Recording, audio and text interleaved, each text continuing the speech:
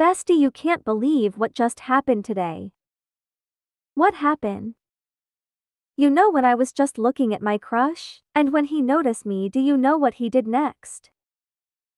What? He smiled back.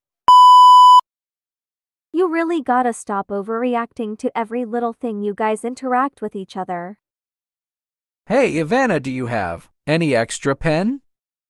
Yeah, I do. You can borrow it. Thanks. What just happened?